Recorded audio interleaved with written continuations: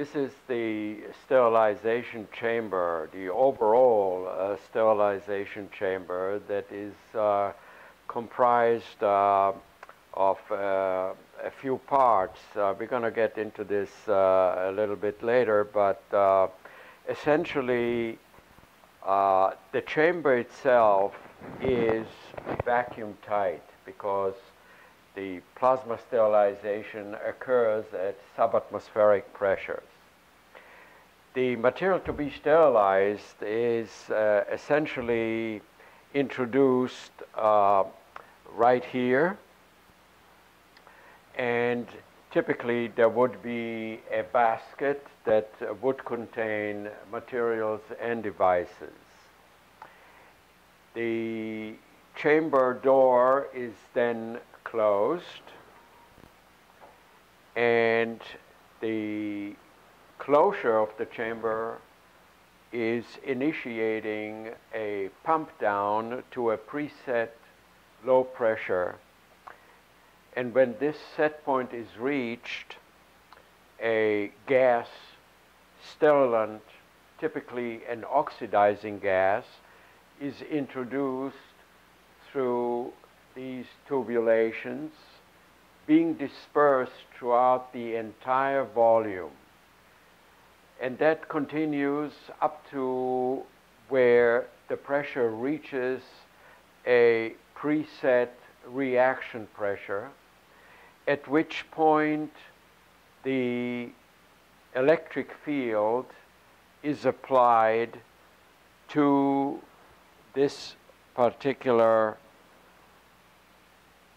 cage, if you will, that houses the material to be sterilized. The plasma strikes at that point and the electric field is restricted to this annular volume while the inside of this cage where the material to be sterilized is housed remains glowless and field free, which means that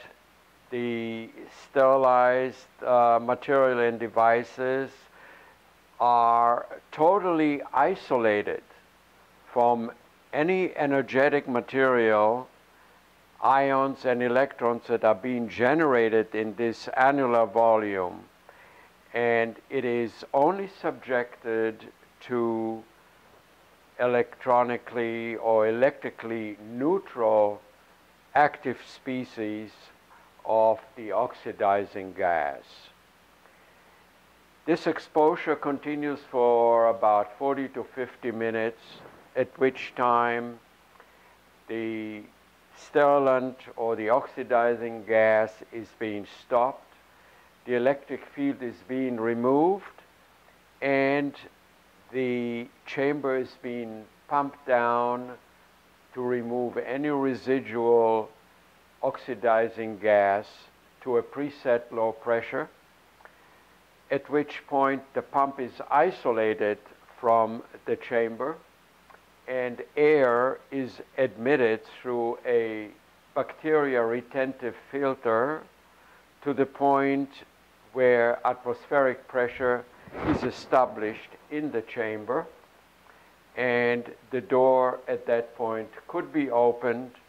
and the material to be sterilized could be removed.